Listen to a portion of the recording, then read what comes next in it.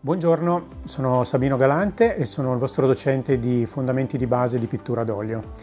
Allora, vi racconto un attimo di che cosa tratteremo quest'anno. Allora, innanzitutto il corso avrà una parte teorica in cui verrà eh, insegnata, diciamo, la teoria del colore, quindi faremo riferimento alla teoria del colore di Chevreul, che è stato un chimico di fine 800, e una teoria del colore sulla quale si basa, diciamo, tutta la pittura di fine 800, da fine 800 in poi, la pittura contemporanea.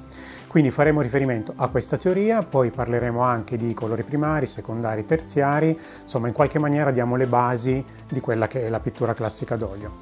Poi andremo a sperimentare questa teoria eh, andando a dipingere dei paesaggi, quindi in questo corso è prevista la pittura del paesaggio Partiremo dalla copia di dipinti eh, già realizzati ovviamente di grandi maestri che sono eh, paesaggi della fine dell'Ottocento piemontese, quindi parliamo essenzialmente di Lorenzo Delleani che è stato un mio avo dal punto di vista della pittura e poi ci sposteremo anche su altri tipi di, eh, di paesaggi, eh, toccheremo il paesaggio macchiaiolo piuttosto che quello eh, insomma, dell'impressionismo francese.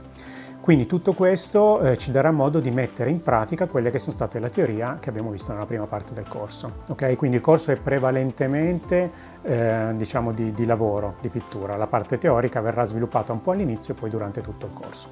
Quindi eh, io spero di vedervi numerosi e ci divertiremo molto come è stato anche negli anni passati e ci vediamo a metà ottobre per l'inizio dei, dei corsi. Grazie a tutti!